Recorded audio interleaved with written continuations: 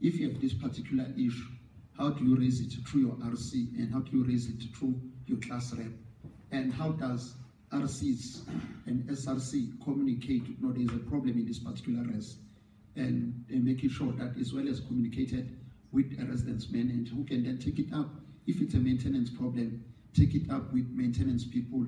If it's a problem that need uh, uh, academics to intervene, they intervene. If it's a matter that need an HOD, the HOD intervene or the director intervene. It does not happen. We normally prolong problems. At times we find that as officials, we are not even doing at work when students need us. So as a result, problems pile up and pile up and pile up.